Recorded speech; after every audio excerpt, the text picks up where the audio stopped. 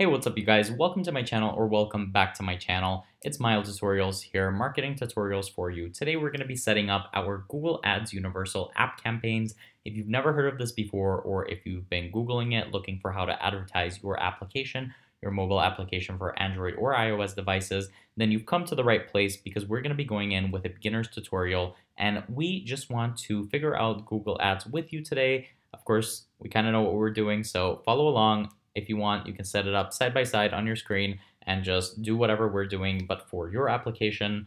And it's gonna be very interesting for all of us. It's gonna be it's gonna be fun. So let's go ahead and get into our Google Ads. We wanna set up a new campaign and it's asking us what our main advertising goal is. And obviously we don't have a physical location. We don't need more calls, website sales, or signups. Um, let's just go to the experience with Google Ads because after this video, you will be and we can get into our settings right here. App promotion is the one that we're looking for. It's just down here, right next to brand awareness and reach. When you're selling your application or you want people to download your application if it's a free one, you got to do an app campaign.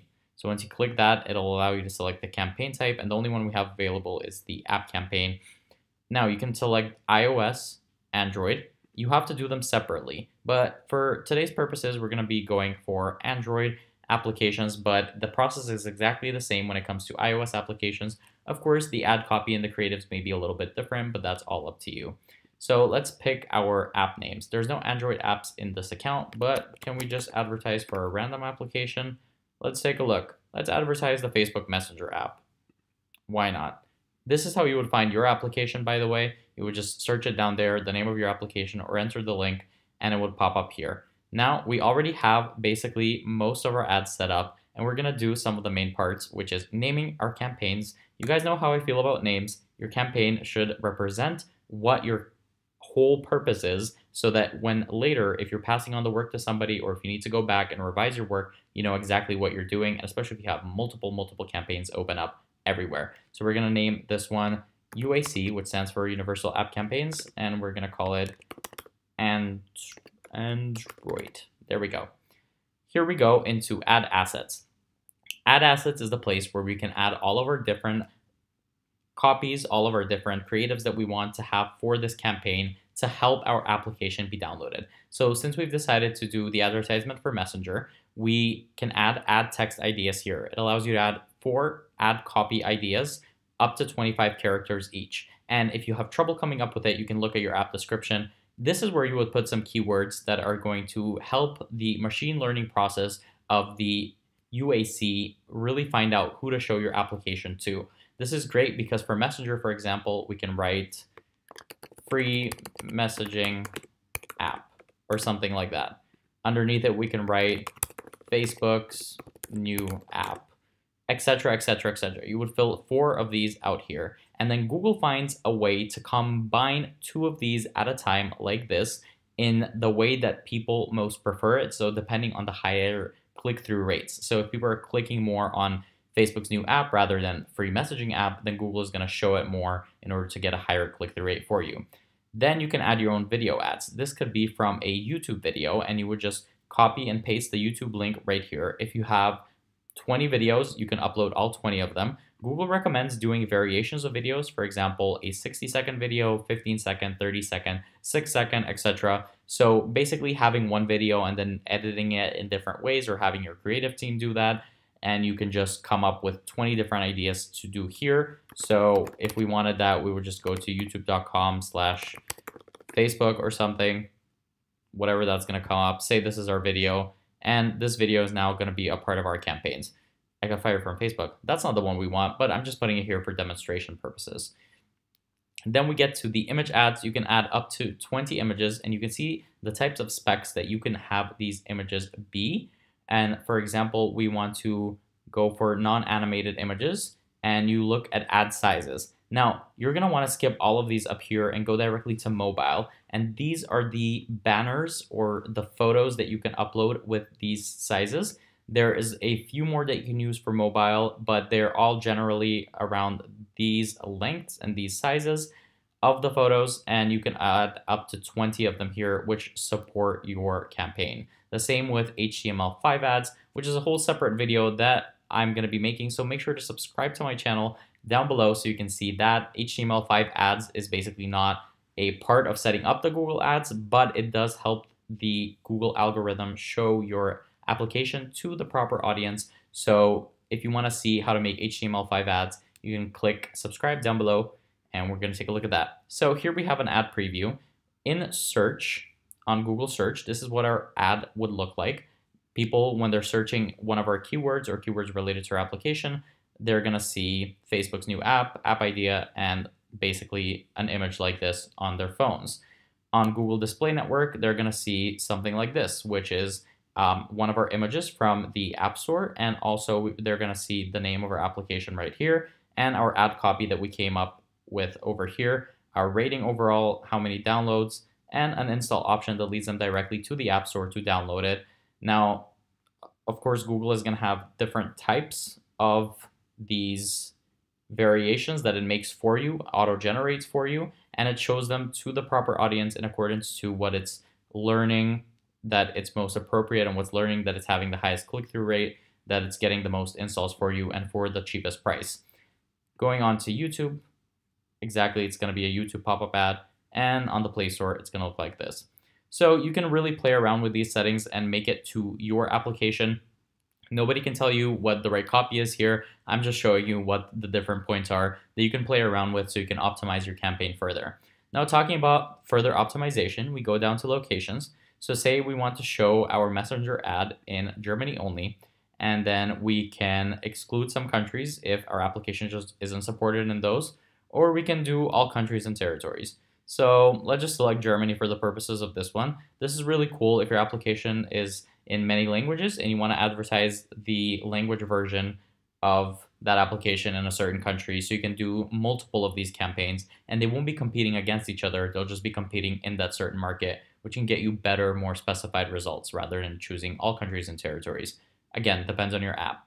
And for languages, we can choose German and English language, what people prefer and usually search in.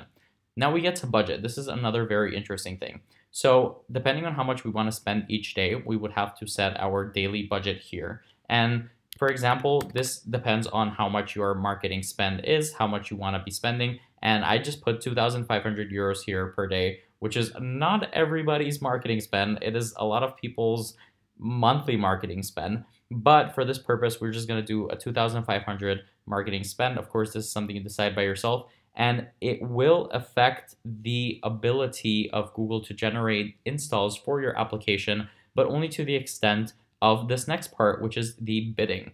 Now, Google Ads, UAC ads for your app work in a certain way by setting a bid for the application. So how much you want to pay for every single install.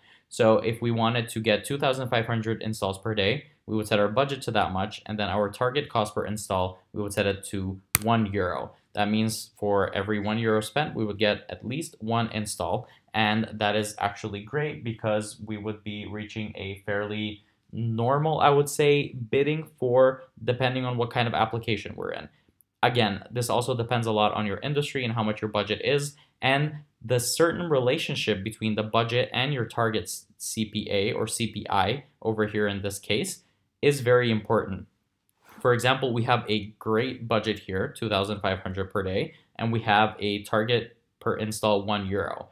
But if we set our target per install at 10 euros, say we're in a very competitive market, which I don't think many of them are like this, again, up to you to do the research for that, then this wouldn't be a very good relationship because we would run out of our budget very quickly uh, as soon as we got, for example, uh, I don't know the math, 250 installs, we would run out of our 2,500 budget, which can be within a couple of hours of launching these campaigns. So we're definitely not going to do that. On the bidding, you can see you have a couple of more options. What do you want to focus on? Install volume or in-app actions? And what kind of users do you want to target? All users or users likely to perform an in-app action. As you can tell, we're not allowed to select the in-app action option. That is because we do not have any tracking software connected to our Google Ads yet. I know this is a beginner level one, but I want to mention that if you have any tracking software which tracks users' performances within your application post downloading, then you could connect that with Google Ads and you're able to select an in app action. And then Google optimizes the search for these users for your campaign based on whether they're likely to perform that in-app action. For example, if you have an application that's an e-commerce application and you want to sell you're selling shoes or bags on it, whatever it is, and you want people to download your app, but you want to make sure that they're the type of people that are probably going to buy something off of your application. Then you could set those actions in your tracking application and then bring them here into Google and only target people who are likely to, for example, buy something on that e-commerce app, buy an extra add-on for your gaming app, etc., etc., etc. But that's going to be in a separate video. And again, so many things that are coming up. So please make sure to subscribe down below. I don't want to be annoying, but we're obviously going to have a lot to do here. And this is just the beginning for every single one of us. So let's set our target cost per install at one euro again. So now we have some sort of good relationship between these two. Again, you could set it to, for example, $250, and then we would set this to something like 10 cents per day or 10 cents per install. And that's okay too. There's nothing wrong with this. Whatever it is that your budget is, that's what you should do. And again, we have the start and end dates. Do we want to end date? When it comes to UAC campaigns, it is generally not recommended to have an end date because they work in an optimization manner. So they optimize themselves the longer they run, meaning you get better results and the type of users that you actually want for your application. That being said, if you have a budget limit, then you could obviously select an end date, but we're just gonna go ahead with none here. And we're gonna go into save and continue. Oh, it's asking us for a text, so let me just type in something quickly. Text app, okay. And after we go save and continue, it is loading into our new page, which is confirm payment info, and your campaign will be launched. All right, guys, I went over this very quickly. I spoke very quickly, but you can slow this video down. You can pause it every time you need to review something. And if you have any single question, I'm always down below in the comments. So please make sure to leave a comment, ask me a question, email me. As you can see, my email is up here and um, or down in the description below. Just ask me whatever you need to ask me and I'm here to help. And I hope this video really did it for you. Once again, like and subscribe, and I'll see you in the next one.